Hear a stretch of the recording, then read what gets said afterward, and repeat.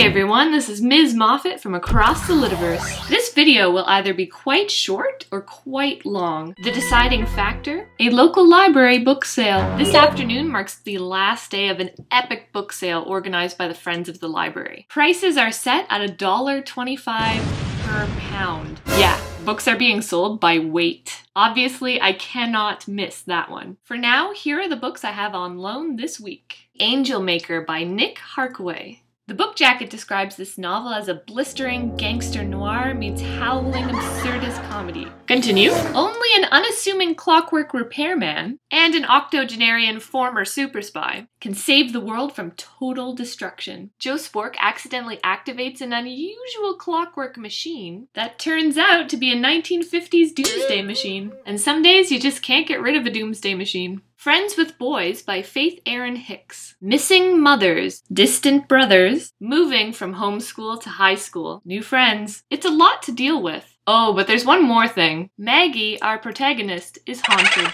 I like that the artwork has a manga feel to it, and yet Ms. Hicks hails from Halifax, Nova Scotia. CanCon meets current obsession. Brilliant. The GNBCC, or the Great Northern Brotherhood of Canadian Cartoonists by Seth.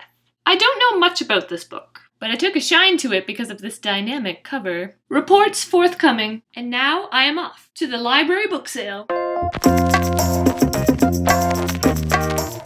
I return. So, not a good idea to go to the book sale on the very last day that they're having it. For those of you not in the know, the book sale started on April 11th and as I film this, it is April 15th. By the time I got there, the books were largely picked over. I am glad that the sun is finally out though. It must be very disorienting to watch the first part of this video where it was really dark and dank looking in my room. That's on account of the early morning rain we had. In conclusion, this will be a short video today.